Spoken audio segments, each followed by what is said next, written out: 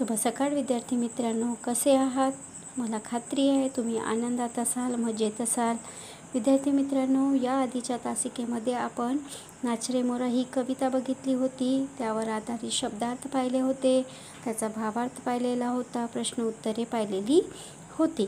तर विद्यार्थी मित्रांनो आता तुम्हाला होली सुलभ मराठी पु पाठ्यपुस्तक काढायची आहे अभ्यासपुस्तिका काढायची आहे.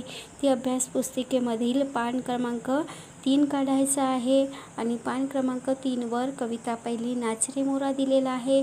तिथे तुम्हाला वर्गकार्य टाकायचं आहे तारीख टाकायची आहे आणि दिवस टाकायचा आहे. तर विद्यार्थी मित्रांनो आपण बघितलं होतं की त्या कवितेमध्ये आपल्याला वेगवेगळे चित्र दिसत होते ओके की नाही? तर तुम्हाला कोणकोणते चित्र दिसत होते? बरोबर आहे. तिथे आंब्याचं वन दिसत होतं. पुन्हा तुम्हाला मो नाचणारा मोर दिसत होता.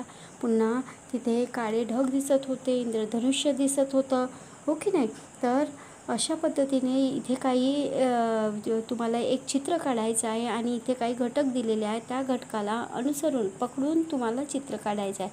आता मी वाचत आहे. माझ्या पाठोपाठ तुम्हाला वाचायचं आहे. प्रश्न पहिला आहे या ठिकाणी. गाणे वाचून समजून त्यात दिलेल्या वर्णनानुसार पुढील घटकांच्या आधारे एक चित्र काढा व रंगवा. तर तुम्हाला काय करायचं आहे? इथे काही घटक दिले आहेत. जसं पहिलं घटक आहे आंब्याचं वन दुसरं घटक आहे नाचणारा मोर. तिसरा आहे काळे ढग. चौथं आहे तलाव. पाचवा आहे इंद्रधनुष्य. आणि सहावं आहे एक मुलगी. तर हे जे घटक तुम्हाला दिलेले आहेत ते घटक का घटक चित्रात दाखवायचे आहेत आणि तुम्हाला ते चित्र पूर्ण करायचे आहे आणि त्याला सुंदर असं कलर करायचं आहे. सुंदर असं रंग कलर करून त्याला रंगवायचं आहे. विद्यार्थी मित्रांनो हे तुमच्यासाठी होमवर्क आहे तुमच्यासाठी गृहकार्य आहे ठीक आहे? तर विद्यार्थी मित्रांनो मी तुम्हाला सांगितलं होतं की या कवितेमध्ये इंद्रधनुष्य दाखवलेला होता. तर या इंद्रधनुष्यामध्ये एकूण किती रंग असतात? किती असतात? बरोबर आहे. एकूण सात रंग असतात. आणि मी सांगितलेले होतं की ते सात रंग कोणते? तर आता आपण बघणार आहोत की इंद्रधनुष्यातील सात रंग कोणते? त्यांची नावे आता आपण बघणार आहोत. तर पहिलं आहे लाल. त्याला रेड असं म्हणतात. त्याच्यानंतर दुसरं नारंगी आहे. त्याला इंग्रजीमध्ये ऑरेंज असं म्हणतात.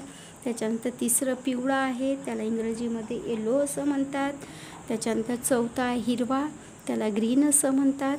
त्याच्यानंतर पाचवा निळा त्याला इंग्रजीमध्ये ब्ल्यू असं म्हणतात त्याच्यानंतर सहावा पारवा पारव्याला इंडिगो असं म्हणतात त्याच्यानंतर जो सातवा आहे तर त्याला जांभळा इंग्रजीमध्ये म्हणतात व्हायलेट कलर तुम्हाला समजलं विद्यार्थ्यांनो किती रंग असतात? तर मी पुन्हा सांगत आहे माझ्या पाठोपाठ तुम्हाला म्हणायचं आहे आणि पाठांतर करायचं आहे. पहिला आहे लाल त्याला रेड असं म्हणतात दुसरा नारंगी त्याला ऑरेंज असं म्हणतात आणि तिसरा आहे पिवळा त्याला येलो असं म्हणतात. चौथा हिरवा त्याला ग्रीन असं म्हणतात. पाचवा निळा आहे तर त्याला इंग्रजीमध्ये ब्ल्यू असं म्हणतात. त्याच्यात सहावा आहे पारवा त्याला इंडिगो असं म्हणतात. त्याच्यानंतर सातवं जे जांभळा आहे त्याला वायलेट असं म्हणतात. असे इथं धनुष्यामध्ये एकूण सात रंग असतात. तर विद्यार्थी मित्रांनो तुम्हाला ही कविता आवडली असेल तुम्हाला छान वाटली असेल तुम्ही तिचं गायन केलं असेल पाठांतर केलं असेल तर विद्यार्थी मित्रांनो हे जे चित्र आहे हे चित्र तुम्हाला पूर्ण करायचं आहे आणि माझे जो व्हॉट्सअप नंबर आहे त्यावर तुम्हाला पाठवायचं आहे. पुढील भागामध्ये पुढील तासिकेमध्ये आपण भेटणार आहोत. विद्यार्थी मित्रांनो धन्यवाद. तुमचा दिवस आनंदात जाओ.